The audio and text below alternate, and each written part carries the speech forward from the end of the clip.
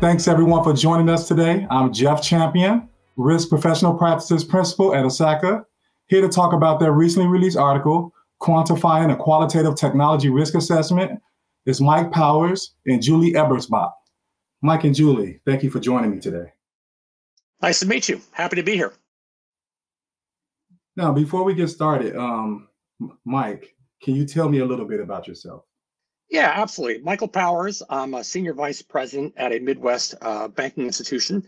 Uh, we're in Columbus, Ohio. I live here now, and um, I've been a risk professional for almost 15 years. Uh, background is in technology. Um, I am a CRISC certified, and um, I've also got my PhD in information technology. So, in addition to my uh, risk assessments uh, role in cybersecurity, um, I am also an adjunct professor at three universities where I teach cybersecurity, quantitative stats, uh, and technology uh, courses. Um, I am married with uh, two grown children, one who's a veterinarian, the other one is a school teacher. So very fortunate there to be that empty nester and spend a lot of time working on ISACA products here. Um, I'm also very fortunate to be working with my uh, colleague, Julie Ebersbach. Thanks, Mike. Um, yeah, also work for a Midwest banking institution and uh, been working in risk for about going on four years now. Uh, background in IT and a little bit of aviation background as well. Uh, I live also in Columbus, Ohio, with my husband and my three-month-old daughter, and I got uh, two cats and a Bernese Mountain Dog that take up most of our time. That's incredible. Thank you guys for joining me today um, we'll jump right in.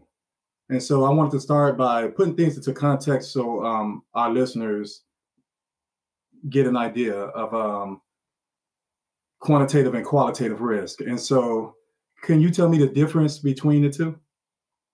Yeah, let me feel that one a bit, Julie. Um, when you take a look at uh, the types of risk assessment at the highest level, um, you really have one that's quantitative and one that's qualitative.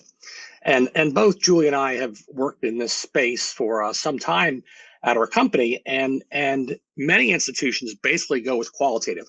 The, the quality is basically highly um, experienced personnel making judgments based on an enterprise risk management framework. But the core is you're making a personal opinion uh, on, on the status of risk, and it really is subject to um, debate um, it's all based on a framework, but in the end, um, they're typically in a pure qualitative assessment. Uh, there is typically little data uh, behind it. In contrast, you have the quantitative risk assessment, which is typically like a um, using numbers and relying on data exclusively. Now, in reality, uh, many times companies will use a blend of that, but uh, Julie and I have, at least at our organization, have perfected somewhat a, a, a strategy for um, using data to inform the qualitative risk assessment. So bottom line here is also is there are many advantages and disadvantages across the board for each type of risk assessment. In the end, Julie and I look to describe techniques for blending the two to make a, a, a best possible hybrid product. And, and Julie, would you say that's uh, fairly accurate there? Yeah, I, I think you laid it out very well to kind of explain how the qualitative is really very opinion uh, based at times and the quantitative while it has a lot of data and can really show uh, a risk from a holistic perspective it's it's a lot more expensive to do. And so our approach that we kind of put together really blends the two really nicely to provide uh, data to those subject matter ex- experts and, and say here's some data behind it. Now how can you use those to frame you know your qualitative opinion Interesting. I want to geek out a little bit, and so I'm just curious with this hybrid. Um, how how I mean, what would be the components of meshing a hybrid like that? Yeah, so absolutely, Julie hit on a key point about the quantitative factors. Um, not only do you have a, a, a, a, struggle sometimes, number one, she mentioned expensive, right? So in order to do qu- pure quantitative, you have to have the data in place. You have to be able to collect the data, such as the cost of servers, um, the cost of implementation, um, all the uh, frameworks that are behind uh, how to, in other words, the methodology behind how you get those numbers. Um, in our approach, we take each component, typically in a qualitative risk assessment or, or any risk assessment, you're going to think of it as each has a chapter. For example, you're going to talk about your top risks, your emerging risk, your control environment, your uh, issue management process.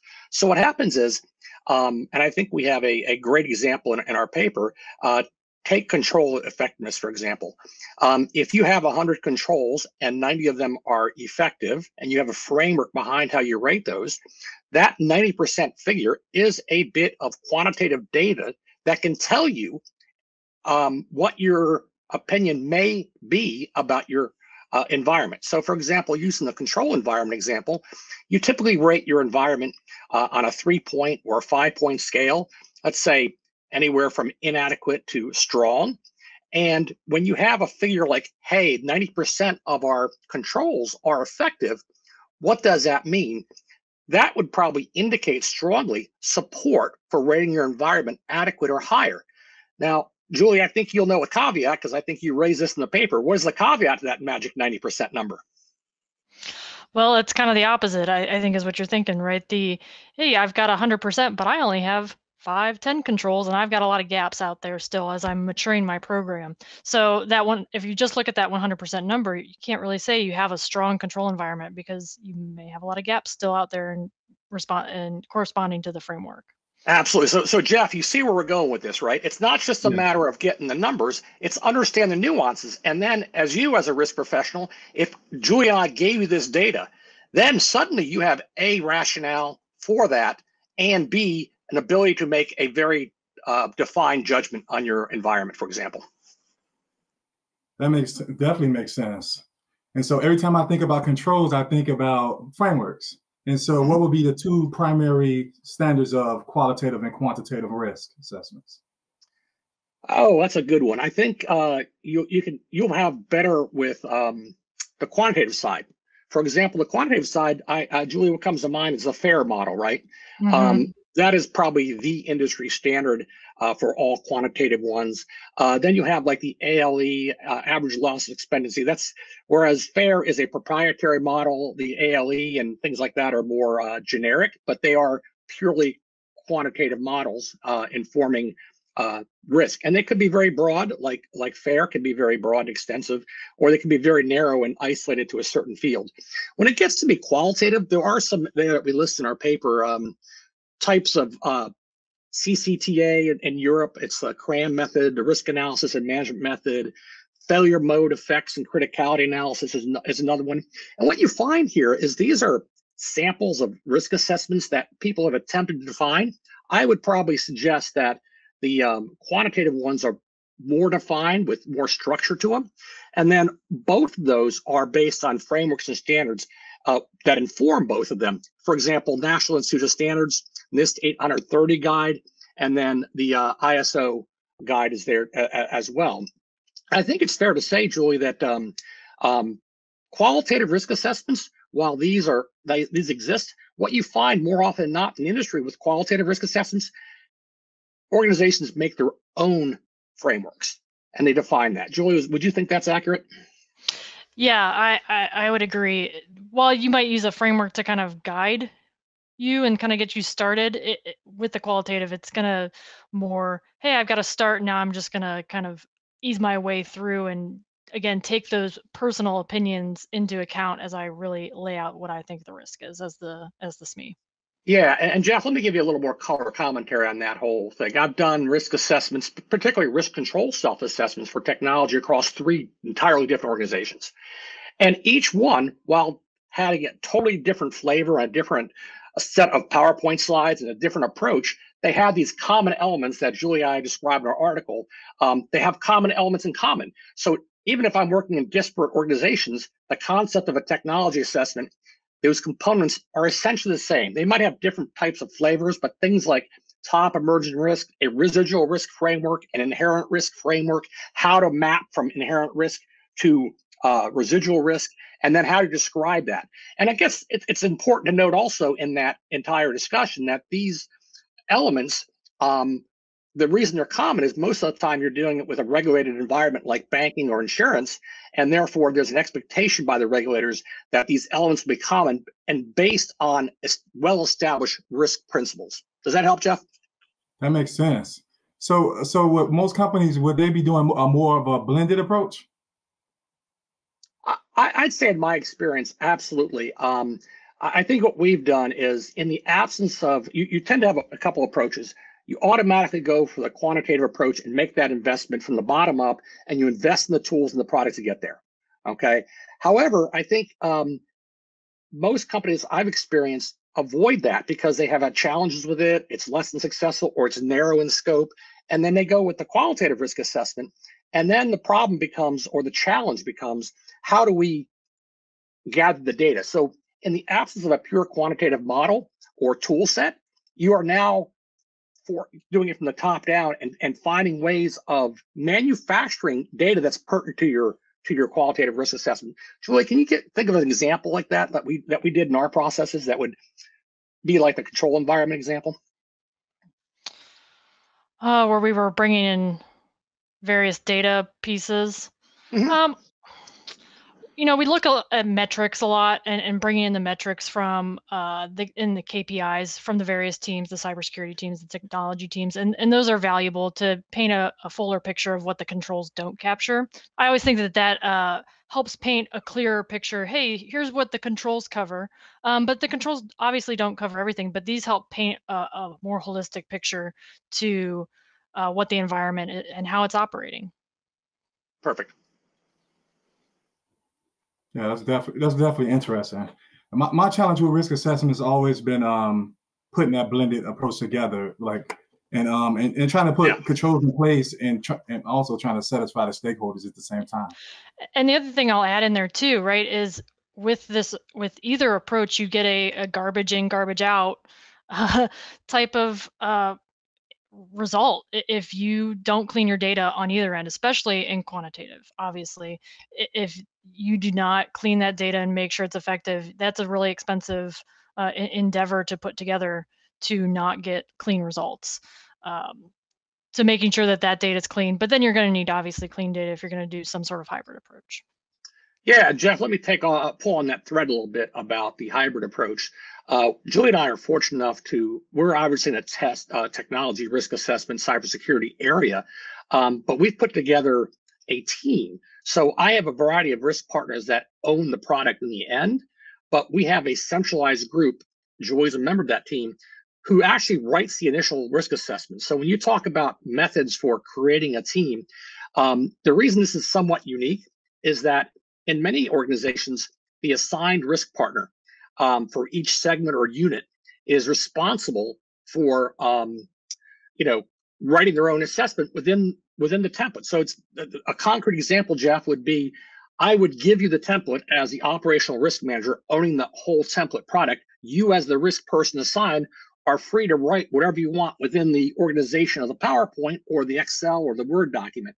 The challenge with that is that everybody's going to be writing different words, right? Even though we have an organized uh, format, everybody's going to do do their own thing, and and and it can sometimes across an organization with multiple business segments, the collective cohesiveness is, is somewhat lost.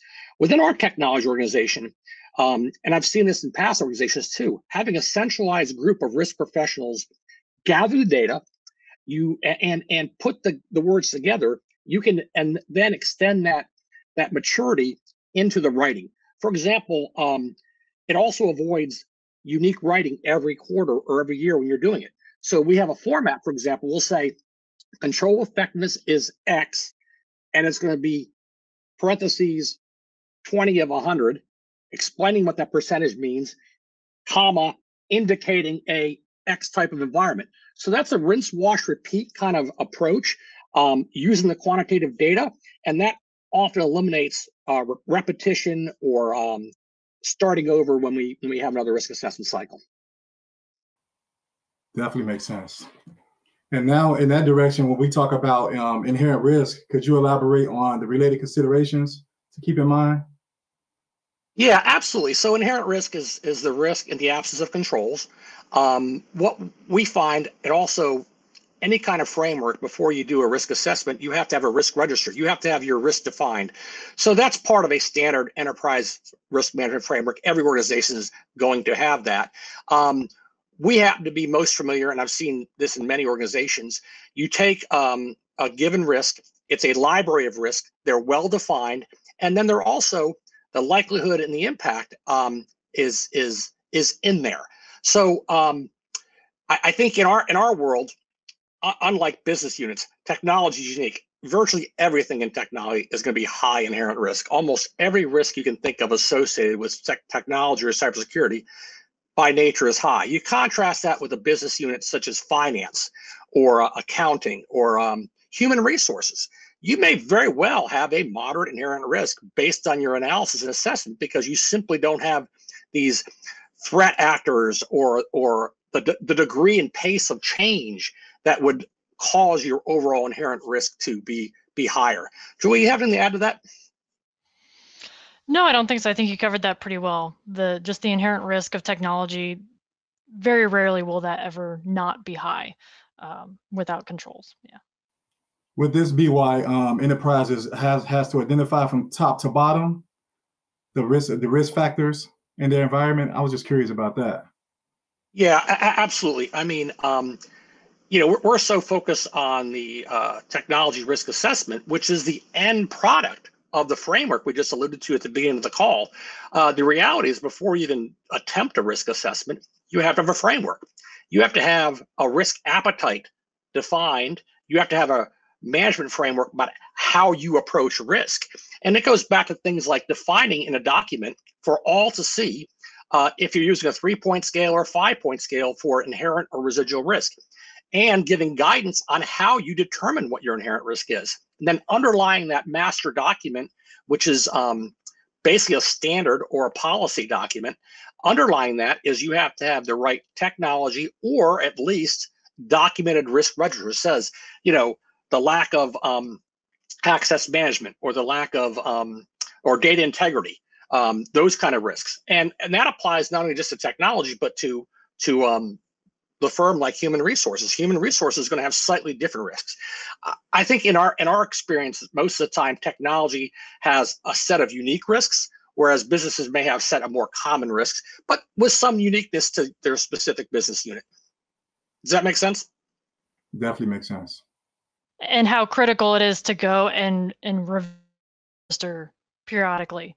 Uh, don't let it continue to age. It as we know in technology, right? Every it's advancing, it's changing. So the risks are changing and, and they're evolving. So we need to make sure that that risk register evolves and changes with it. Spot on. Yep. Fantastic. Why do um, quantification fail when it comes to the control environment? Why does quantification fail? Yes. Um, I wouldn't characterize quantification as, as failing. So when it comes to the control environment, the top measure is control effectiveness. You typically find, I've seen organizations use three or four, five point scales, like partially adequate, you know, for control. Typically, though, we kind of keep things binary. They're either effective or ineffective. And uh, I, when you talk about control testing, and Julie's going to be fond of me saying this repeatedly, like I'm not a big f- fan of control testing. It implies we're going through a quiz. I'm more of a fan of control evaluation, where you evaluate uh, the degree to which a control is operating, right? You're really doing an evaluation. Um, and so when you talk about quantification of controls, the number one item is going to be the degree of control effectiveness. Um, and as Julie mentioned very clearly, it's not a direct um, factor if, if, for example, your control value is, is high. If you have a high rating, you can't automatically assume you have a strong control environment because you may not have adequate control coverage across the environment.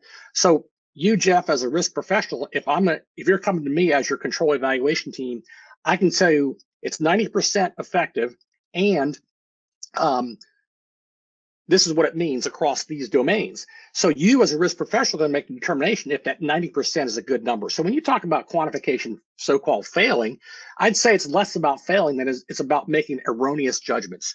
Um, so if you're representing the CEO and the board of directors and the regulators that you have a strong control environment and you only have five controls and you have all these other failures going here, that's where the quantification aspect becomes uh, challenging or too burdensome, if that makes sense. So, so in, in this evaluation, I, because I'm a big fan of evaluating things as well. So, when you evaluate, do you make adjustments as, as needed? Yeah, absolutely. And that's where the qualitative benefit comes into, into play. So let's say that uh, Julie and team put together a robust picture of, you know, the overall environment from a risk assessment is going to, let's, for example, let's say it's going to be a five point scale range from inadequate to strong. Okay. I'm going to start compiling those quantitative facts and the qualitative facts. And you, if you think about a control test, if you will, when you evaluate a control, all we're doing is it's like a court case. I am doing a second party judgment on how well that control is operating in the environment. In order to do that, I'm running through test procedures. And I am writing up a briefing that says to the world, here's why I'm calling this effective because this happened, this happened, this happened. There were no exceptions. Uh, and this is it. And, and so I am defending, if you will, my, my judgment. Then when Julie and I get together as a team and we provide the risk partners, our inherent risk is X, our, our control environment is adequate. Here's why it's adequate, because we have 90% effectiveness across a large number of domains with 500 controls, for example. Our metrics, 85% of them are in within threshold and have passed. Our KRIs, our findings and issue management process, we have a low degree of high findings, which could be critically devastating to a, a unit. All these factors inform your qualitative judgment um, on, on how you determine the environment and your eventually your res- residual risk rating against risk appetite. Julie, you have anything to add to that? Uh, I was just going to expand a little bit more on your the issue management that, that you called out there. Um, it's really a critical addition to just the control environment. We go back to that very basic example of five controls, 100%, great, but it seems like you've got some gaps. Uh, or maybe you have a large control environment and it's 85% effective, but then if you add in the piece of the issue management, hey, we have 20 high critical self-identified open findings that we don't really tie into these controls too much. That paints a, a clearer picture too in addition to those metrics in addition to those controls to say here's a little bit more uh, quantitative quantitative evidence to show either we're there or we're not. So so with that quantitative evidence um i guess that will focus that will focus more on the assets itself? Yeah typically it's going to be well, not always. Like it's going to be assets, definitely. Um, you know, a lot of times you'll have um, those kind of technology asset focus, right? Um, you know, in our in our world, we also there's a, a, asset control assessment process where you determine the risk of assets and things like that. So that becomes not just monetary data, but also a risk assessment of, of individual assets. And that definitely factors into it. So if you're going to take a complete, robust picture from a technology self-assessment, you're going to have uh, a, a way of measuring your assets. You're going to have a way of putting the metrics pieces together, putting the KPI pieces together, um, putting the control environment figures together, all those which work in conjunction to give you a holistic view of A, the, the, the strength of your environment, the, the, the quality of your risk assessment, and, and, and B, any future work. Let's not forget the risk assessment. Once you, you're not just done pencils down. Once you have a risk assessment, you're going to also identify um, next steps or, or, or gaps that you want to address or areas of focus for the organization to further strengthen based on your risk appetite. That's interesting. And so I, I want to tie that to how often should companies do a risk assessment? I think it, it's going to depend on the organization and, and what their environment really entails, right? With uh, we're from a banking institution, uh, something a little bit more frequently. We do uh, an assessment every quarter, uh, but there are things we're doing constantly, not you know outside of that quarterly uh, schedule. So I, th- I think it really depends on a couple factors based on your your environment, your organization, what kind of industry you're in, and, and things like that. Yeah, I'll pull on that thread, Julie, too, because uh, if you're in a highly regulated one like banking or insurance, mm-hmm. you're going to do it more often. If you're uh, less regulated, you, you, may not even have one, but you may do it every periodically every two years. So we, we've seen typically, though, Jeff, direct answer to your question, typically it's annual, typically.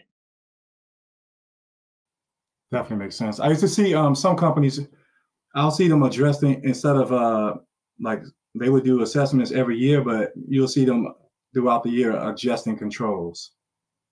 Absolutely, that's mm-hmm. that's part of the you know. Uh, we're, we're familiar, Julie loves me talking about our factory model. Um, factories to us are widgets There, there are items that have to be defined. They have to be uh, analyzed. They have to be uh, outlined procedures. You have to have evidence that's accurate and available. And then your control environment throughout the year, uh, whether you do a quarterly or an annual risk assessment, that is a dynamic living environment, right? So you're always not just growing controls uh, if you have gaps or you want co- additional coverage, but you're also consolidating controls. You're you're narrowing down the control environment. You get you want it's important from a control environment to get it right, not not necessarily focus on the total amount. I often get challenged by CIOs uh, and, and other technologists, Mike, what is the right number and is 90% correct? And I, I often use the analogy that it's not about the number. It's about having the right coverage and the right risk mitigation in place. And then they always enjoy seeing 90% effectiveness, but I encourage them that's not a pass fail grade. It, think of it as a, a, a, a temperature gauge. If it's 90 degrees outside, you're not putting a winter coat on. If it's 12 degrees outside, you better have that winter coat on. So that number is a barometer or a temperature gauge of the environment only, and it's more important to understand what you're using it for in your analysis. So why would residual risk assessment objectives and facts and quantification elements that contrast each other? I'm just curious about that because sometimes I'll have issues where um, we perform this assessment. We have some controls that we put in place. Have you ever put one in place where it you it, it caused other issues? Like like once you start putting controls in? Well, Jeff, you have to understand something. I run an organization called Center of Excellence. We, we never make mistakes like that, do we, Julie? Never. Never. There you go. No, Jeff, it, it does happen. You're absolutely right. I mean, Julie, you, you, you live and breathe this stuff every day. Do you have an example of what Jeff was just saying? Yeah, I, I don't know that I have a specific example, but it, it does happen, right? You you in you implement one thing and somehow it breaks something else. Or you implement one thing and you think, hey, this is gonna be great and it's gonna solve all of our problems, right? It's going to kind of create here's an area uh, that is a little bumpy and I'm going to implement controls, uh, a new product here that's going to slow those ripples and really it's going to solidify our control environment in that area. And, and, it doesn't go as planned. And so you have to kind of go back to the drawing board with with the technology, with the cyber folks, and say, okay, how do how do we address this and how do we clean it up uh, so that we have a sound control environment from here? Yeah, I, I Joey, hearing you speak gave me a, a thought too, to Jeff's point. Um, most time we see when you adopt a new system and we put controls around a new system, many people just implement systems without regard to controls. So what happens is, um, what I mean by that, let me give you a concrete example. We had a an access management system one time being implemented, and the reporting that we needed for testing wasn't automated or built in, in the beginning. Um, so we put in these controls and control tests, and what happened was we were causing the business a lot of angst because they spent a lot of time doing manual reports. So that's a great example of where a control was implemented, and the knock-on effect was additional manual labor hours to put all these reports together uh, for these thousands of accounts. You know, so that's that's a pretty good example there. My challenge was always visibility. It was um, having the visibility to be able to report these analytics back to the stakeholders. That was always a challenge. Absolutely. When you talk about it, that's why, um, and it's always you have to keep in mind. And I, will double down on that that that challenge. So not only the stakeholders, you're dealing with second line in a defense in depth strategy, operational risk, they'll challenge you.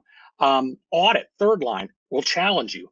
Um, the stakeholder, the board of directors will challenge you. Stakeholders who you're putting in failing controls will challenge you. And ultimately, the regulators will challenge you. So that's why I go back to my control evaluation statement. It's like going to the Supreme Court with a brief. You have to have all your data and your and your subjective opinions locked and loaded so that you can remove the challenges, remove the obstacles. So when you say, "Hey, I have all these great things going on, my control environment is adequate," nobody can argue with you. But Jeff, as you know, as a risk professional yourself, someone's always going to argue with you. Yes. Oh, yes, they will. would there be anything else you would like to tell our audience? Uh, no, this has been a great experience for Julie and I. Um, this is our passion. This is what we spend our days doing. So to have the chance to uh, share our, our our techniques and our view is is is an honor, a privilege. So we really appreciate everybody's time. Thank you very much. Thank you, thank you, Mike and Julie. Um, we probably could talk about this all day, and I, I honestly don't mind because those answers were fantastic. You can read the full, full article if you click the link below. Thank you for tuning in. I'm Jeff Champion.